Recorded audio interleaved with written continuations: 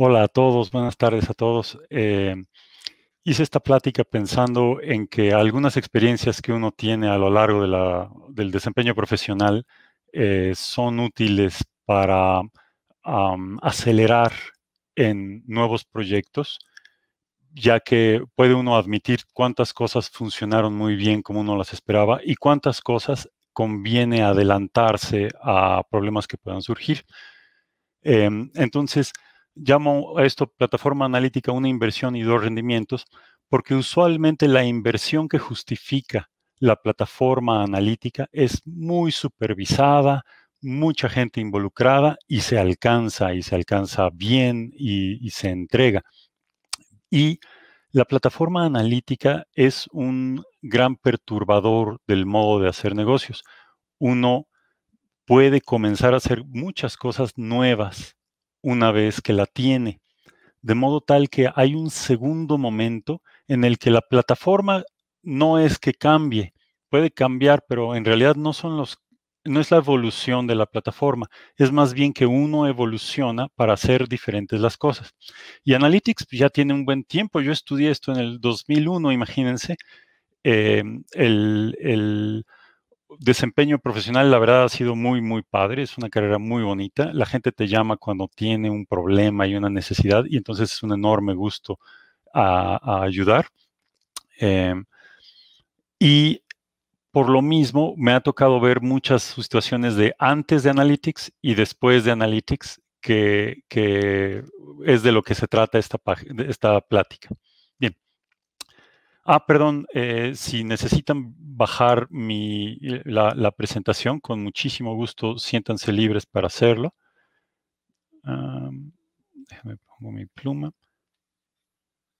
Eh, con muchísimo gusto está, está disponible. Bien. Eh, en, en, muchísimos procesos ya está admitida la mejora continua. Entonces estamos viendo tres procesos eh, altamente analíticos ahí enfrente, ¿no? SEMA es el proceso con el que SAS propone el acto concreto del desarrollo del modelo. CRISP-DM tiene un desarrollo de modelo como, es, ese proceso de desarrollar un modelo lo tiene como uno de sus puntos, pero está ya embebido en un proceso más grande de comprender al negocio, hacer los modelos para de ahí hacer aplicaciones de esos modelos, deployments de esos modelos eventualmente, y esto nuevamente está en el ciclo de mejora continua. También el modelado de SAS, si se fijan ahí en rojo, alguien dijo, oye, pero pues cada vez que yo lanzo un modelo, esto normalmente hace necesario que vayan nuevos modelos más adelante. Eh, y por supuesto también está el ciclo de campañas de marketing, donde hay una etapa en donde se hace el análisis y sobre todo este primer cuadro es el de Analytics, acerca de estudiar la situación del mercado, estudiar alguna situación, alguna fenomenología y a partir de ahí hacer la creatividad, aplicar eh, creativamente nuestras ideas para desarrollar una estrategia, de ahí hacer los planes que llevarían a cabo esa estrategia, los planes ya concretos de acciones que le llevarían a cabo, a cabo, ejecutar esas acciones y otra vez, esto también es un ciclo. El hecho de hacer esas acciones hace que cambie el tablero del juego. Y entonces hay ahora un nuevo juego que volver a aprender, identificar cómo es que fuimos disruptivos y qué podemos hacer al respecto de, de una mejora a lo que hicimos como en un primer ciclo. Muy bien. Entonces, este asunto de que los procesos sean de mejora continua, que sean de ciclos, quiere decir que aunque la definición inicial se alcance, se, entregue, muy probablemente vendrán redefiniciones conforme uno las va entregando. A veces porque uno se topa con que no todo era lo que uno quería, y otras veces porque al llevarlo a cabo se nota el potencial y más gente se involucra en hacer requerimientos. Bien, entonces en la plática se trata de esta autoevaluación con la que una persona puede identificar lo que hace. Esta, esta lámina nada más la incluyo como para eh, que esté completo en forma documental, pero las siguientes láminas se tratarán de que vemos cada uno de estos temas que estamos haciendo. Y algo que a mí me, me emociona mucho es que de hecho esto no es un asunto de las empresas o tampoco es un asunto de los que trabajamos en tecnología. Esto es un asunto social. Ya para este momento es muy diferente un noticiero que te dice un hecho a un noticiero que te dice un análisis cuantitativo del hecho. Entonces voy a comenzar con un ejemplo así. 1995 ocurrió algo que le llamaron el Pill Scare de 1995. Esto, perdón porque ya lo había mencionado en otra página, lo voy a mencionar en otra presentación de, que me hicieron el favor de invitarme. Entonces lo voy a decir muy brevemente. En ese año se reportó esto en varios periódicos. Por ejemplo, aquí vemos el resumen de la nota del Daily Mail de Inglaterra. Los anticonceptivos provocan 20 muertes al año a través de trombosis pues es, una nota fea, ¿no? Y todo el mundo le haría caso. Pues era una nota exagerada y es uno de esos casos terribles porque conllevó a que mucha gente lo creyera y evitara el uso del de, anticonceptivo. Y más adelante tuvimos, bueno, tuvo Inglaterra muchos más eventos, eh, tanto de muerte como de gasto derivados de, esa, de ese miedo que se provocó. Y lo peor de todo es que cuando se hacía un análisis de lo que ese estudio quería hacer, resultaba que era un estudio mal enfocado. A lo mejor sus datos podrían ser correctos, pero miren, esta barra de aquí es lo que hizo a los analistas decir que había un incremento. Le estaban comparando con esta barra de acá. Este es el uso de un tipo de anticonceptivos y este es el uso de otro tipo de anticonceptivos. Entonces, noten cómo ya el encabezado debería de haber sido diferente. Había uno entre los anticonceptivos que aumentaba, triplicaba la probabilidad de tener un trombo. Pero ¿saben qué es este evento de acá? Este evento de acá es un embarazo. Uno de los riesgos en el embarazo es la trombosis. Entonces, eh, la gente tomaba la decisión de no usar anticonceptivo y en vez de pasarse al anticonceptivo más adecuado que debería de haber sido, y entonces muchas personas acabaron cayendo justo en el riesgo más elevado de todos. Dicho de otro modo, fracaso en el estudio, fracaso en la comunicación y fracaso en la decisión. Bueno, pues hay que aprender mucho de esta experiencia para que no vuelva a ocurrir. Pues nos traemos al presente y ahora traigo lo contrario, un estudio hecho por Vox acerca del presente, eh, las distintas vacunas contra el coronavirus, contra el COVID, y sabemos que se ha reportado la efectividad de cada una de las vacunas y por lo mismo ya decimos que hay algunas que son la buena y otras que son la mala.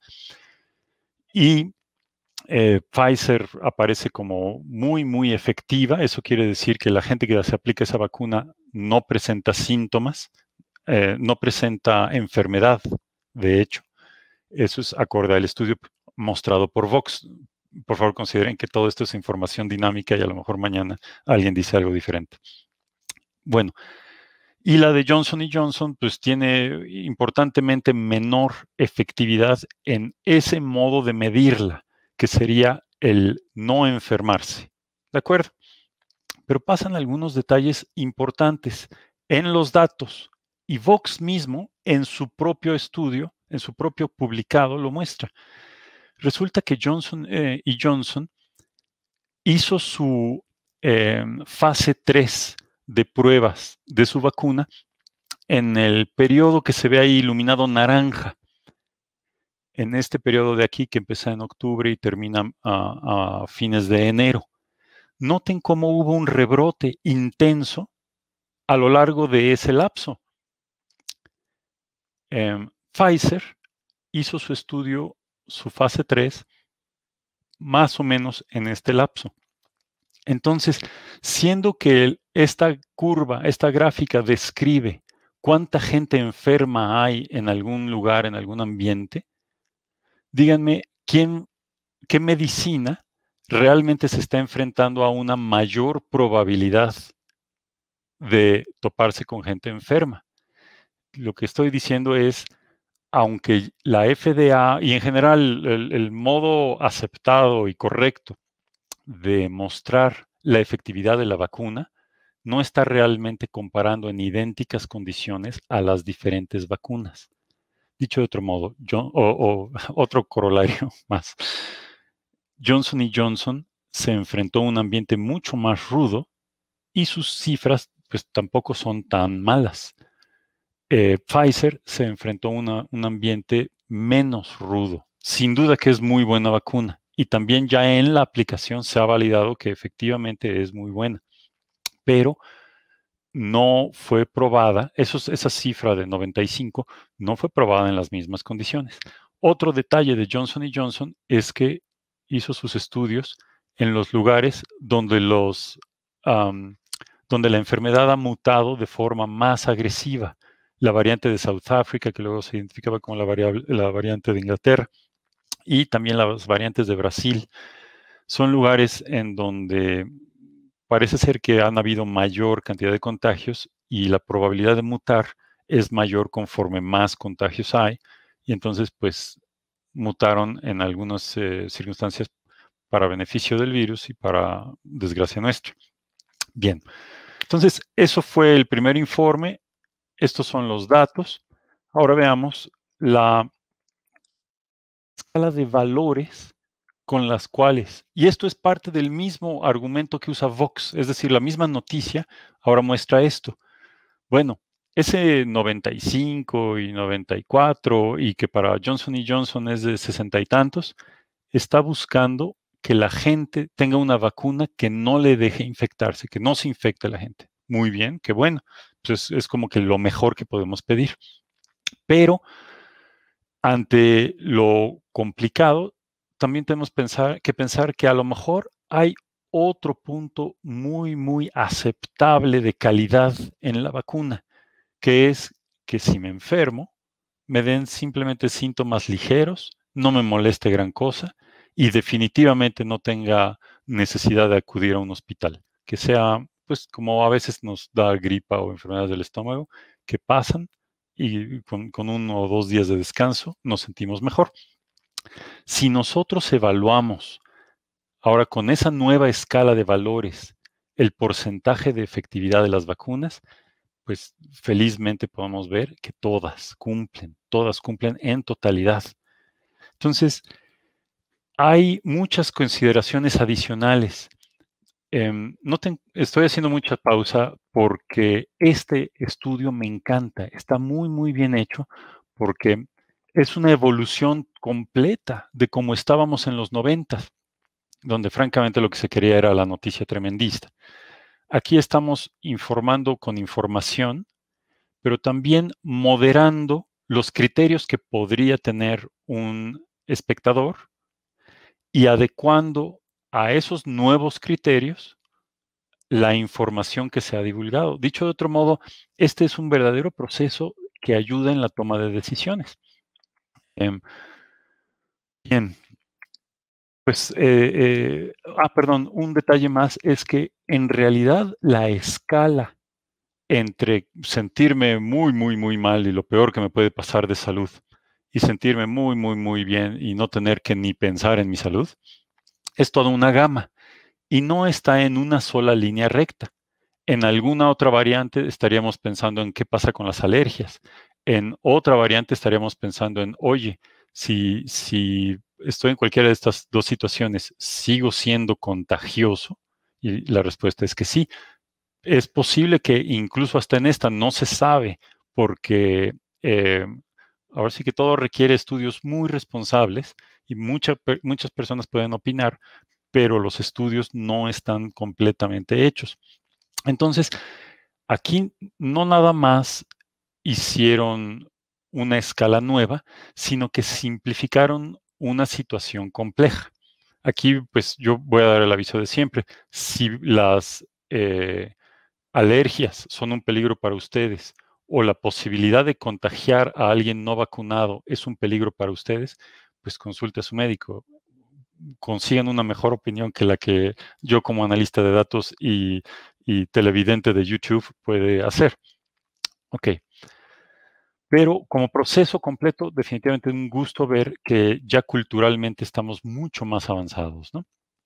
Nuevamente, pensando en cómo era antes y cómo es ahora, déjenme les platico de una de mis primeras eh, experiencias en, eh, en ambiente financiero de aplicación de modelos y de, mantenimiento a los modelos. Para hacer una predicción de un tema eh, financiero, de un tema bancario, se usó una red neuronal y se obtuvo cierta calidad y la midieron con distintas formas. Yo puse una curva rock, pero ah, la, midieron de, una manera. Y pensaron que podían mejorar esa calidad. Entonces conectaron al resultado de la red neuronal los datos fuente y, e e, y volvieron a calibrar el modelo. Y eso les dio otra curva rock. Esto no está mal per se, pero una red neuronal es algo difícil de interpretar y por lo mismo, entonces, difícil de controlar. Hay buenos controles, hay manera de hacerlo y también hay manera de interpretarla, pero no, digamos que se agregó complejidad al modelo. Y el resultado tampoco fue el que querían, pensaron, puede mejorar.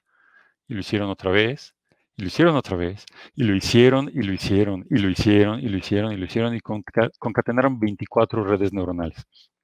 Y eso no es realmente porque estén pensando que necesitamos más neuronas, lo hemos identificado porque hay muchísima no linealidad en nuestra fenomenología. No, aquí lo único que hicieron fue, pues ponle otro nodo, vuélvelo a correr y tendrás un resultado renovado. Y eso es como en Excel poner una fórmula con números aleatorios y darle que recalcule y recalcule y recalcule y de pronto quedarte con la que más te gustó. Eso ya está reconocido hoy en día como un problema en los estudios que repiten el estudio sobre los mismos datos una y otra y otra vez. Todos sabemos eh, que cuando se hace un cálculo de variables de influencia, se trata de buscar, se trata de estimar su valor P, su p-value, para saber si esa influencia se puede deber al azar o si es una influencia confiablemente eh, reportable, ¿no?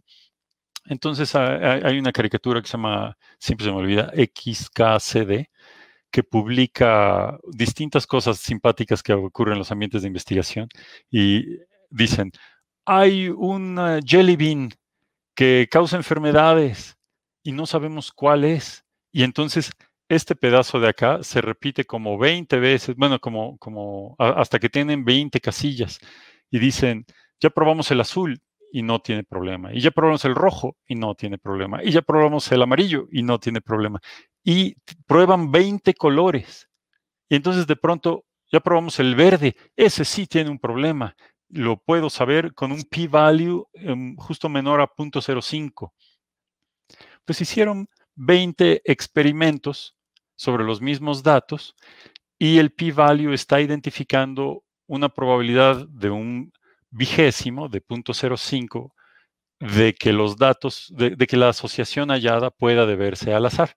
Entonces, pues que adivinen qué ocurre, que gran encabezado en el periódico diciendo que hay un jelly bean que, es, este, que es nocivo, ¿no? Entonces, este sarcasmo, esta, este cinismo con el que podemos ver estas cosas, pues me lo he encontrado, es real, eh, eh, en, los ambientes eh, me lo ha llegado a ocurrir. Esta otra es una caricatura del gallo Claudio. Prometo que esta va a ser mi última anécdota. Cada día que pasa, tengo más memoria y menos neuronas disponibles para, para lo actual. Entonces, por favor, aguanten todo lo que tengo en mis memorias una caricatura del gallo Claudio de, Mary Melodies, eh, era donde él jugaba con su sobrino a escondidillas. Y el sobrino es matemático. Y entonces, eh, en vez de ponerse a buscar, saca una regla de cálculo, un papel y lápiz y se pone a hacer cálculos.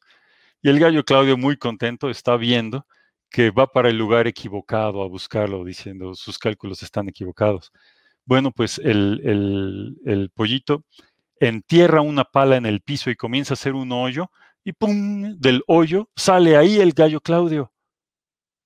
Y eh, al final de, esa escena, el pollito le dice, el gallo Claudio le dice, pues ¿cómo es posible si yo no estaba ahí? Y el pollito le dice, pues mira mi demostración y no sé si alcanzan a ver que acaba en igual a gallo. Entonces, eh, el tema ahí es que sí, las matemáticas son algo muy padre, pero deben ser una descripción del mundo real. Creerle más a las matemáticas que al mundo real bueno, tal como lo estoy diciendo, ya está mañada mi frase, no. Creerle más a las matemáticas que a lo que percibimos es algo que se debe hacer con mucha prudencia, con mucho control, porque puede ser finalmente que estemos creyéndole más a las matemáticas que al mundo real, ahora sí.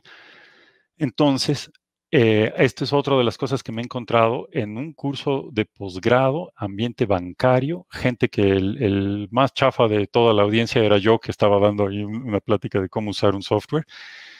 Y un, un maestro en finanzas y en estadística nos decía, si tú lanzas un dado y cayó un 6, en los siguientes lanzamientos hay menor probabilidad de que te salga 6, pues porque ya ese ya se gastó un poquito. Y no, el Señor no es ningún burro. Es, lo, lo, dijo porque tiene estos fundamentos, pero sí los voy a criticar. Yo pienso que son fundamentos erróneos y los platico. Sí, por supuesto, eh, si pensamos que es un dado justo, las probabilidades de cada cara deben ser estrictamente un sexto. Y entonces, conforme se tiende a infinito, tiene que recuperarse ese hecho de que ya salió un 6 y entonces ahora tienen que salir los otros otras cantidades de veces para que se equiparen. Ok, esa era su argumentación. Y yo veo dos fallas. Una, cuando tiende a infinito. Y pues todos sabemos cuando hacemos divisiones entre cero y multiplicaciones por infinito, pues las matemáticas ya se vuelven más bien en un ejercicio de lógica, no tanto en una descripción del mundo. La otra problemática es que su argumentación es válida. Dice, si este es un dado justo, entonces tienen que ocurrir estas cosas. Muy bien, pero ¿cómo sabríamos que es un dado justo? A lo mejor jamás hay un dado justo. Es decir, un dado se declara justo a lo mejor después de 100 lanzamientos o a lo mejor después de 50 lanzamientos eh, supervisados y donde las probabilidades tienden a un sexto.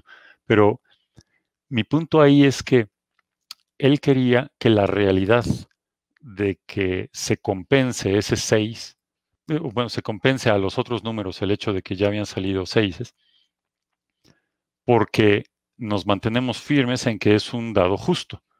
Bueno, pues esa es una creencia hasta que se lancen millones y millones de veces los dados y se pueda realmente afirmar que es un dado, dato justo, un dado justo. Pero quizás estoy ahondando demasiado mi opinión es que no, el, evento de lanzar el dado no cambia las probabilidades para el siguiente dado, para el siguiente lanzamiento. Bien, entonces ahora sí entremos en materia de esta autoevaluación. Y la primera sección habla del cómo explicamos los resultados del modelo. Entonces, la primera explicación es muy sencilla, pues es, es lo que dicen los datos. Y eso en sí, en, términos de fundamento, quiere decir que estamos haciendo una justificación histórica.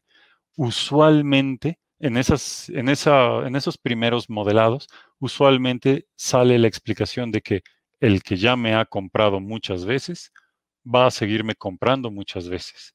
Y eso está bien. Yo creo que un alto porcentaje del éxito de un modelo aplicado es precisamente el apoyarse primero sobre lo evidente. Está perfecto.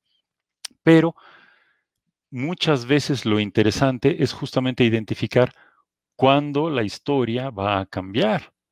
En la bolsa de valores, pues sí vemos tendencias que van llevándose con el tiempo y nos encanta, pero sería absolutamente ideal poder decir cuándo va a haber una caída o cuándo va a haber un boom. Esos son verdaderamente los hallazgos a la hora de que uno hace estudios sobre esas series de datos. Entonces, la tendencia histórica es útil, pero es lo que pongo aquí como el primer nivel más limitado respecto a cómo está funcionando el modelado en una empresa. En un segundo momento, tenemos reglas de acción y reacción o, descripciones.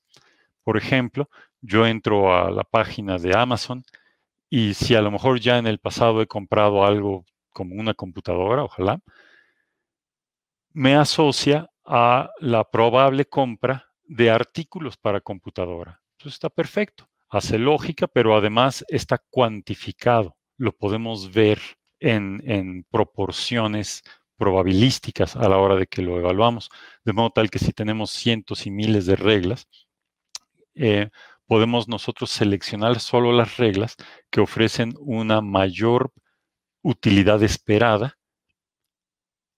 en, en, la probabilidad que se les calculó, o al menos una mayor probabilidad para que hayan transacciones.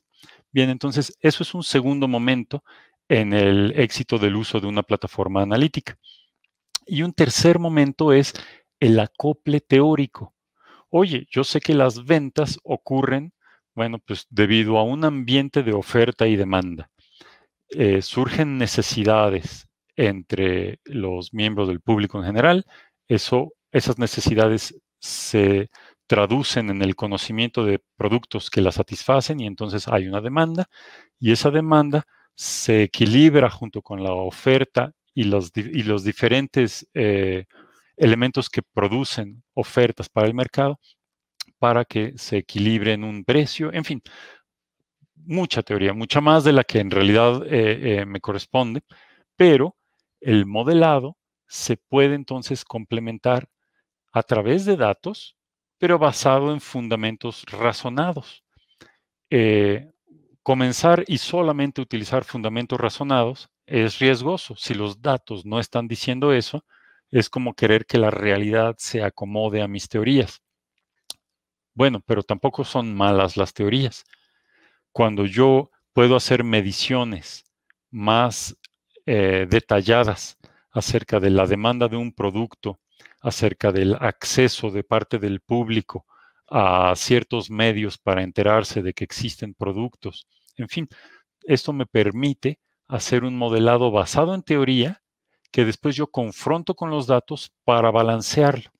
Entonces es junto con la minería de datos que crea eh, modelos basados estrictamente en lo que dicen los datos, yo puedo ahora además hacer modelos teóricos afinados y ajustados para que, que correspondan tanto a la teoría como a los datos empíricos.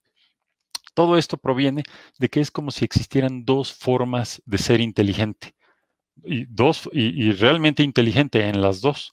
Un poco, a cada una le falta un poco de la otra y tiene el éxito de la suya. Una es el razonamiento causal y está, es, perfecto.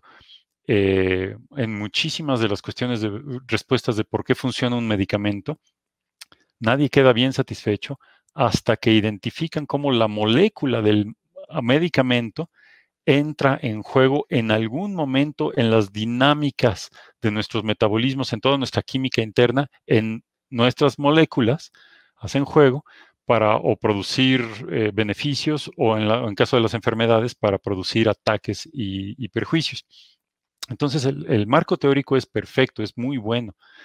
Y el conocimiento empírico sería simplemente observar, ver qué está sucediendo, ver en qué condiciones sucede y pensar que el futuro va a ser que esas condiciones sigan disparando y detonando estos sucesos. Entonces, ambos son buenos y ambos se complementan. De modo tal que las plataformas analíticas están fuertemente orientadas a la creación de conocimiento empírico, estadístico, y es bueno a veces tener el flanco adicional, por ejemplo, de la eh, dinámica de sistemas o del modelado basado en agentes o de la simulación. Cualquiera de esos tres flancos les puede ayudar a tener un marco teórico que explica a los datos tal como se están dando, pero en el contexto razonado, en el contexto ya de ideas causales, de causa y efecto. Bien. Ok, entonces, por ejemplo, aquí en el, en el ejemplo que les pongo, en una dinámica de ventas, ya no nada más estaríamos hablando de algo histórico, de que pues, este señor compra mucho, pues irá a comprar mucho, o descriptivo de este señor hizo una compra que detona probabilidad de otras compras. No, a lo mejor aquí ya podemos hablar un poco más a fondo diciendo, él pertenece a un segmento con probabilidades de migrar hacia otros segmentos y sabemos de, de otras experiencias que esos segmentos tienen unas reglas particulares que no son tan útiles en otros, en otros grupos. Entonces, eso ya está hablando de que tengo un buen clustering hecho sobre mi población y a cada uno le hice una, una interpretación que me acerca más a un modelado causal. Ok. Entonces, así como la jeringa que veíamos en el caso de la, del noticiero Vox, aquí también puedo yo hablar que estos son como tres grados de éxito en el uso de la plataforma analítica. Primero, el hecho de responder y poder listar quiénes son los buenos compradores del pasado, pues tiene mucho mérito. Habla de que ya tengo formación de datos, datos confiables, eh, capacidad de generar reportes.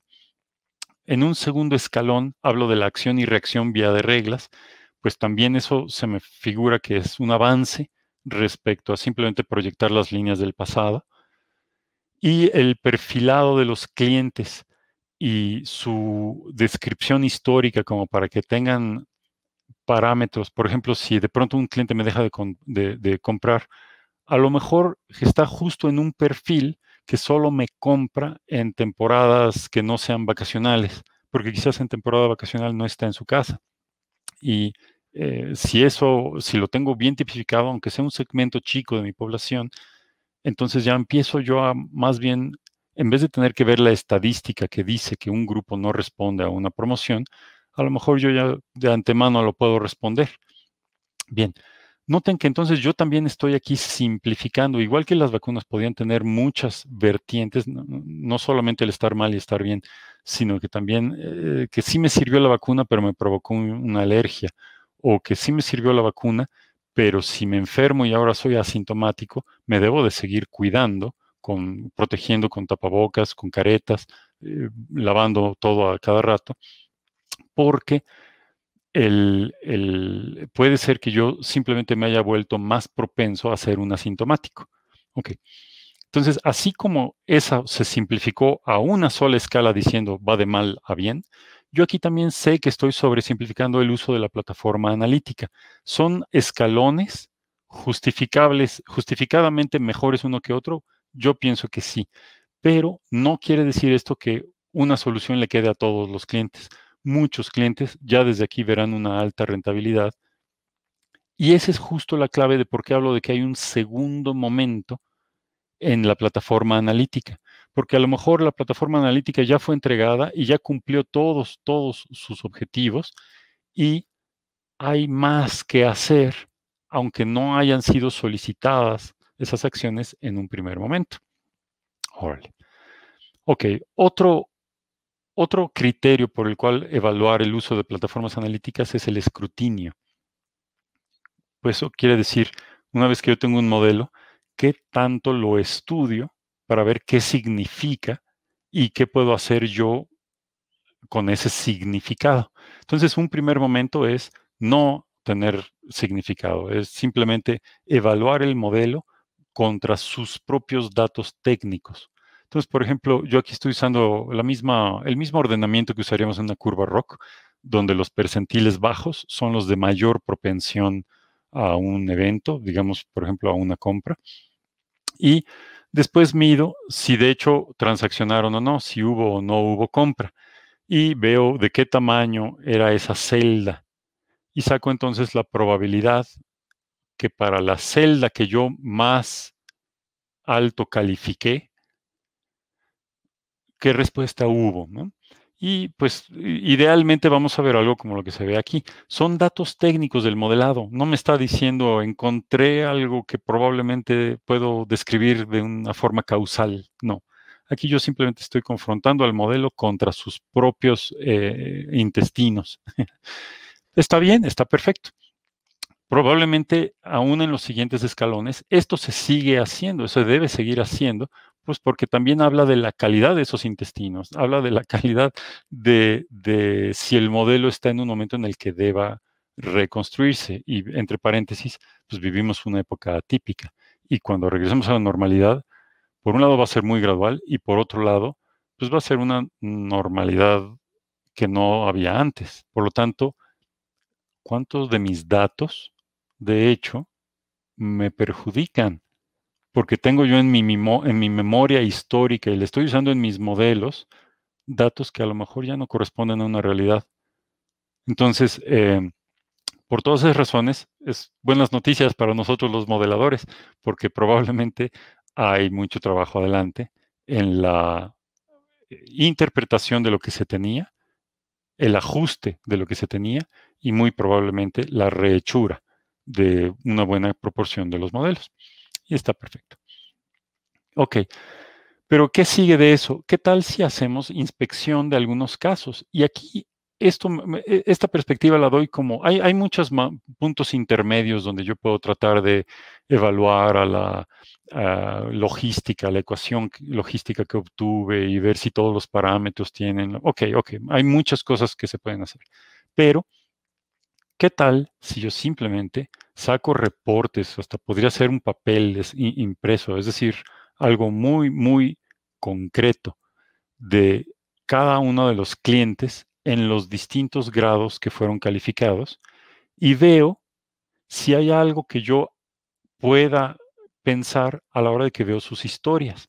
Esto, de hecho, es eh, una versión corta de lo que son los paneles de investigación de mercado. A lo mejor yo puedo solicitar datos donde de forma anonimizada me dé cuenta de algunas cosas de la vida de la gente que está haciendo transacciones y quizás una persona que compra artículos para niños, muy probablemente está iniciando una serie de patrones ya muy bien establecidos. Y entonces, el hecho de que antes yo simplemente tenía un scoring y decía esta persona es de alta probabilidad de transaccionalidad, el hecho de ver su historia así como un caso a estudiar me permite ser más creativo en qué otras variables se me ocurre que, que puedo usar para mejorar mis modelos. Bien. Luego, ¿qué tal si no lo hacemos simplemente por algunos casos que me puse a leer, sino algunos casos por segmento de mi población? Es decir, a mi población con las transacciones, yo la voy conociendo y entonces corro algoritmos, por ejemplo, de clustering y se me forman distintos clusters acerca de, cómo está distribuida esa población. Entonces, conviene que cada cluster se estudie por separado pues porque quizás entre ellos sean más coherentes y entre segmentos sean más discordantes en su comportamiento. Esto me va a permitir a la larga tener reglas que se apliquen al público adecuado y no a la población general. Y finalmente, ok, pero los segmentos también son un modelo per se. ¿Qué tal que sea ese el modelo que necesita mejorar? Entonces, si tengo capacidad de hacer mucha supervisión, puedo acudir a una técnica que tiene un nombre muy rimbombante, el hipercubo latino. ¡Uh, latino! Y el, el asunto es que mejor no me baso en cluster por cluster, sino tomo a todas las variables, elijo las mejores variables que describan las diferencias entre clientes y las segmento de un modo a lo mejor por percentiles y creo quizás 100 casillas, 1000 casillas o 10.000 casillas y trato de hacer un análisis casilla por casilla porque respóndanme, porque preparen esta respuesta. Yo tengo mi población de transacciones, hice clusters, ya describí a los clusters, muy bien. Oye, estoy dejando ir clientes que no me compran porque no tengo reglas especialmente hechas para ellos bueno, es que los clientes que no me compran son precisamente los que no voy a ver en mi ambiente de clustering. Entonces, ir y explorar un poquito de esos espacios intermedios, de esos espacios vacíos, pues me puede abrir el mercado, me puede hacer crecer como proveedor. Déjame ver la hora. Dear God, ok. Bien. Entonces, un diagrama, y perdónme que a la hora de la hora no eh, quise usar, en fin, eh, que estoy usando un diagrama eh, muy manual. Una plataforma normalmente tiene una serie de fuentes de datos que son leídas, sus datos son transportados o son inyectados en una plataforma donde yo ya corro mis procesos analíticos. Primero son para integrar esos datos, les dan contexto y los hacen adecuados, por un lado, para el uso de esa información en juntas, así tal cual. Hay muchos nombres bonitos como reporte ad hoc y eh, eh, justificado, fundamentado de casos de negocio. Órale, el hecho es que te invitan a una junta con una laptop y te piden que en vivo vayas haciendo reportes relevantes a las cosas que se están diciendo.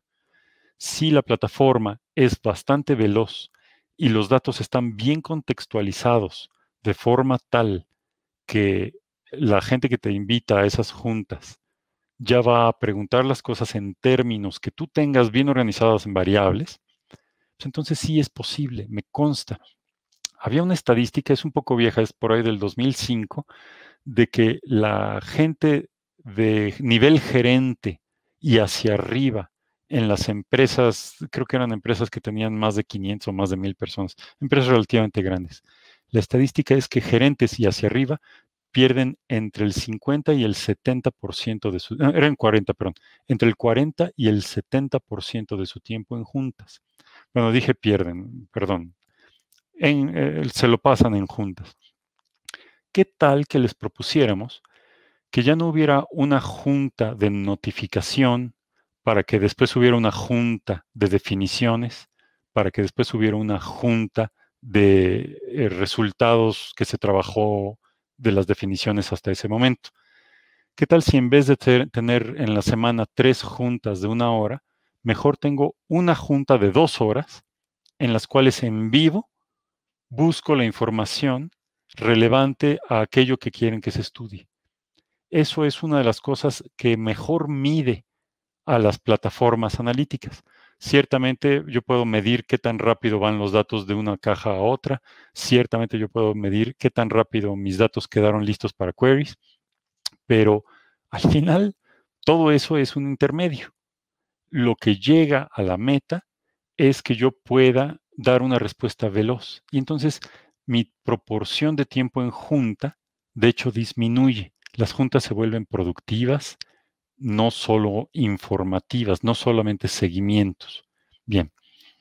Y por supuesto que también estos sistemas se pueden volver detonantes o disparadores de acciones, muchas de esas acciones incluso automatizadas, ¿no? Entonces, así es como entendemos una plataforma. Entonces, ahora sí vamos a evaluar la plataforma. ¿Cuántas horas pasa algo en transferencia? Pues pongo en rojo esta primera sección, que es donde probablemente tenemos áreas de oportunidad. ¿Qué tal las horas de espera para el proceso que contextualiza la información, o por lo menos para esa primera parte que es el ETL? Bueno, pues entonces ya no solo es la transferencia de los datos, sí la involucro, pero ya también tiene que mejorar un poco el servidor en el que estoy trabajando. Ahora, muy buenas noticias. Uno de los sistemas más viejitos y por lo tanto mejor probados se llama GAWK, nunca he sabido pronunciarlo, es algo así como OC, pero pues, suena muy raro y además si alguien está apuntando, pues ¿qué va a apuntar si yo digo OK? Entonces es AWK o su versión GNU es GAWK. Ese es un sistema que en modo de texto, datos en modo de texto sin que estén en ninguna base de datos, puede hacer joins y puede hacer joins de tamaño Big Data. Entonces es una, eh, es, una de las pruebas recientes que, que se me ha hecho muy a todo dar, porque quiere decir que estas dos primeras esperas, horas de espera de transferencia de datos y de ETL para preparar los datos, probablemente pueden ser mejoradas, pueden ser en lugar de manejadas como dos procesos seriados, se pueden manejar como un pequeño overhead que cargue lo que se necesite de Big Data para la identificación y después haga el proceso en serie, en paralelo, disculpe. Bien, qué más? Pues estamos viendo la respuesta veloz a preguntas predeterminadas. Y digo predeterminadas, por ejemplo, estos detonadores ya son queries prehechos que incluso con suerte ya hasta están automatizados. O bien respuesta veloz a preguntas en junta. Esas son las más difíciles porque muchas veces la información no va a estar 100% contextualizada. Muchas veces la junta va a llegar al punto en donde en el momento se necesitan hacer integraciones que quizás no, se tenían en el pasado, pues porque es mucho de lo que se quiere con las juntas, crear algo nuevo o atender algo que no se estaba atendiendo. Ok. Toño. Sí. Ya se nos acabó el tiempo. Inclusive el de, el de preguntas, ¿verdad? Ah, bueno. Sí. Okay. Sí. porque la siguiente charla debería de empezar ahorita a la 1.15 y ya es la 1.20. Muy bien. Entonces, si quieres darle un resumen y ya cualquier, sí, cualquier duda, pregunta, stack. Muchas gracias y también estoy atento eh, por, texto.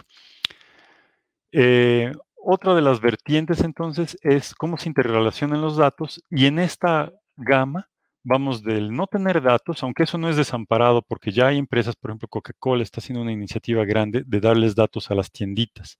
Entonces es algo que tener en la mira, ¿no? hasta tener un ERP con Data Warehouse y sin lock-in. Lock-in es un modismo que se utiliza para decir que compré un sistema que me dejó encerrado. Entonces, eh, hay algunos ERPs que ya mucho de lo que presumen es, somos bastante abiertos. ¿Quieres hacer modelado en R? Adelante. ¿Quieres integrar a otro sistema? Aquí están nuestras interfaces y el sistema queda abierto, no hay lock-in. Y la parte que más eh, bonito se me hace cómo ha evolucionado en el tiempo, ha sido las decisiones. La toma de decisiones antes simplemente se enfocaban en voy a continuar haciendo lo que se hacía y de hecho eso es importante, es, un primer paso que claro que se debe de poder eh, resolver, hacer. Pero la segunda eh, es si eso lo hago de un modo resiliente, si tengo capacidad de, enfrentar algunas variantes, si soy capaz de generar nuevos modelos de negocio, si tengo bajo control lo que hago. Todos estos son enfoques para, diferentes para la toma de decisiones. Y finalmente la anticipación. Por ejemplo, ahorita estamos viendo datos del smog en México y de si realmente cambió, ahora que tuvimos un año de muy poco uso de los coches, el ozono solo decayó un 2%, el azufre, ese decayó más, ese decayó 17%. Entonces es interesante ver que realmente el hoy no circula, pues solamente en algunos aspectos es exitoso, en otros realmente no lo es. Y si la contaminación va a aumentar por más factores, pues chequen que quitar el total de los coches, a lo mejor solo produciría el doble de decaimiento de estas dos cosas. Dicho de otro modo, nos seguiríamos quedando con 60% eh, del azufre y 98, 96% del ozono. Bueno, y mm, como estos eran preguntas hacia las empresas, podemos nosotros mapear en qué situación se encuentra una empresa en su primer año de, de lanzada la plataforma o en su tercer año de lanzada la plataforma. Oigan, pues les, les agradezco enormemente lo que, la atención que me pusieron. Estoy a sus órdenes para responder vía el foro y mucha suerte en, al siguiente expositor, que se los estoy dejando un poco cansados.